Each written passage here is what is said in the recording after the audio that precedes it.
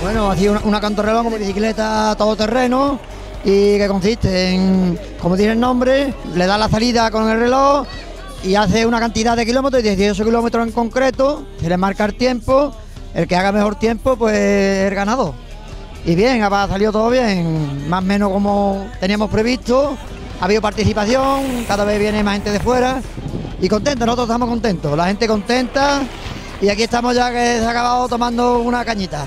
Ahí veo cuatro, cuatro mujeres, una de- del pueblo, ha habido también chavales, juniors, cadetes. Y está cogiendo esto un poquito de aliciente que es lo que queremos. Y bastante bien. Y se han ido muy contentos y muy contentos la gente de fuera que es lo importante y muchísima participación local. Ha habido creo que son 77 corredores quizás más de la mitad eran locales más de la mitad eran locales. Bien muy bien nosotros muy contentos y ya está. Por nuestra parte, muy contento, muy satisfecho también con la labor que ha hecho el Club ETT y bueno, al final una gran afluencia de, de participantes y también de, de personas. Desde la dirección de deporte también muy contentos con la, con la carrera como ha ido y con la buena disposición del Club ETT, Protección Civil y todo el que ha colaborado en, el- en, la prueba.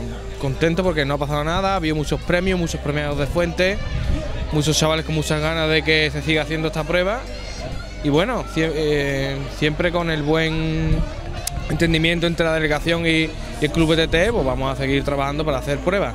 Próximamente tenemos una quedada nocturna en agosto, una semanita antes de feria.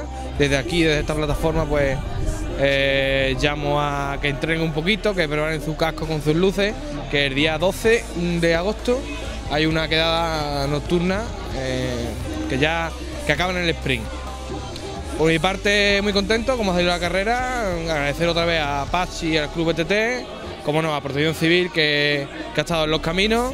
Y bueno, y a seguir trabajando para llenar este, este verano de deporte y de muchas actividades.